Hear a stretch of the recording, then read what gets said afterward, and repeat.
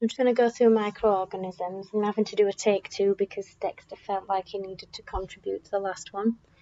Okay, so bacteria are prokaryotic, and the organelles that are highlighted are the ones that you need to know. We've already gone through this. So this is a plasmid. You know that prokaryotic cells have circular DNA. What you should know is that microbes, or bacteria in particular, reproduce through binary fission. And they do this, it's very, very similar to mitosis. So they replicate the DNA, they replicate the organelles, they share them out, you get two identical copies. So this happens every 20 minutes. So every 20 minutes, the bacteria content of a colony will double. And you need to be able to calculate going backwards or forwards how many microbes are present. So, for example, if you said after an hour that there were 360 bacteria in a um, bacterium bacteria in a colony in a colony, you would know that at 40 minutes there would have been half of that, so there would have been 180, and you would know that at 20 minutes there would have been half of that, so there would have been 90 and you would know that the colony started off at 45. It works very similar to half-lives, how you do your calculations, so it should be a simple calculation for you to do.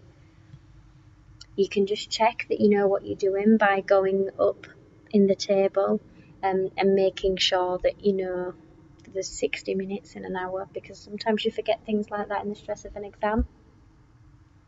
Right, so when we um, culture in microbes, we've got a choice of um, a nutrient broth, which is in liquid form, or we can have um, agar gel. Now, agar gel is made from seaweed and it's highly nutritious.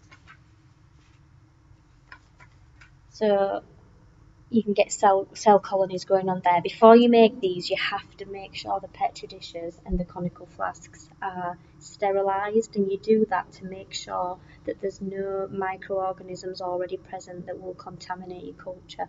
So you use sterile equipment.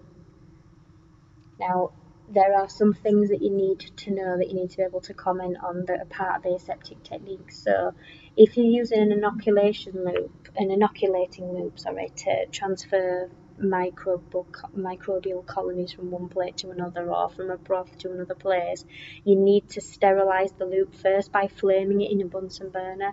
And you can see um, here that you have to flame it so that it's glowing red hot. You have to allow it to cool as well because if you use that red hot fl- um, flamed loop then to transfer colonies, the likelihood is that you'd kill them. So you're aiming to kill the colonies on the loop to start with, not the ones that you're transferring on there. You need to make sure that you tape your petri dish so we don't seal around the entire outside of it because that encourages anaerobic bacteria to grow, which are usually pathogenic.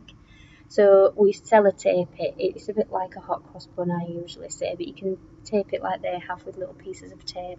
And then you store it upside down. And you do that to stop any microorganisms getting in and any microorganisms getting out. Now, in schools, we don't tend to culture any of our growths um, at any temperatures above 25 degrees. And that's because when the temperature is warm, you will get growth. And um, if you do it higher than that, you get a faster rate of growth, but you're also more likely to be um, incubating pathogenic bacteria that are more dangerous. So we're only allowed to go to 25 degrees in school. The next slide just shows you how you go about making the plates in general. So you can see that we you have to use glass, not plastic, but you'll flame the neck of any um, bottles that you've got that have got the agar in so that you're trying to reduce contamination and then when the agar plates are grown obviously you don't use them if there's any colonies that are on there. So you need to be able to calculate cross-sectional areas of colonies or clear areas or zones of inhibition and you need to make sure that you understand how to calculate pi r squared And this is a, a, picture of a pressure cooker. So after we've cultured microorganisms in a school, they have to then be heat treated. So they're heat treated at extremely high temperatures to kill all of the growth on them, and then they're packaged in special bags, discarded. So on this particular experiment, we, we call this an antibiotic assay. And um, I would hazard a guess that the um, bacteria on this plate is probably MRSA, so methicillin resistant Staphylococcus aureus, and I'm guessing that because the methicillin isn't having any effect on this bacteria at all. So this particular antibiotic does not work. You can see that vancomycin and erythromycin have similar effects, but you can see that penicillin is the most effective because it's got the bigger clear zone. So you need to be able to calculate the clear zone of these. So obviously there's your there's your diameter. You need to just measure your radius because in order to calculate the area of that, you need to do pi r squared.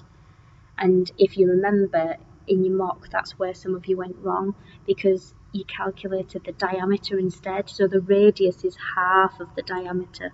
So don't forget to do that.